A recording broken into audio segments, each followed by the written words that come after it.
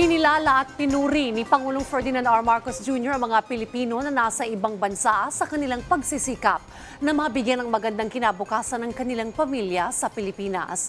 Yan ay sa pagdalo ng Pangulo sa isang Filipino community event sa Australia. Pagtitiyak ng Pangulo, lahat ng ginagawa ng gobyerno ay hindi mapagtatagumpayan kung hindi rin dahil sa magagandang pananaw ng mga banyaga para sa mga Pilipino.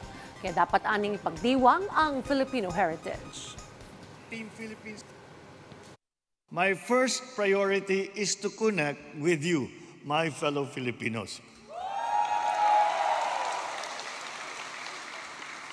My presence in Australia will only be meaningful if I am given the opportunity to meet with you, to spend time with you, aking mga kababayan.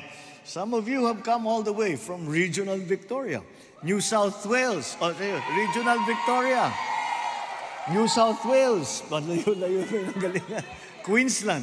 Lagi kong sinasabi, lahat ng pinupuntahan ko, ako'y nagpapasalamat sa mga mga Pinoy na nakatira sa iba't ibang bansa, sa inyo na nandito sa Australia.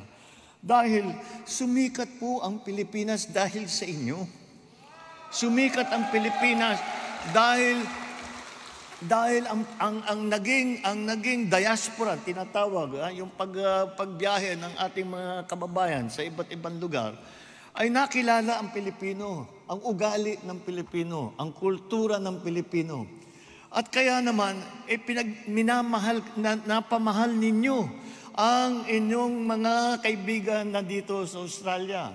At napamahal na rin sila sa Pilipinas dahil dyan.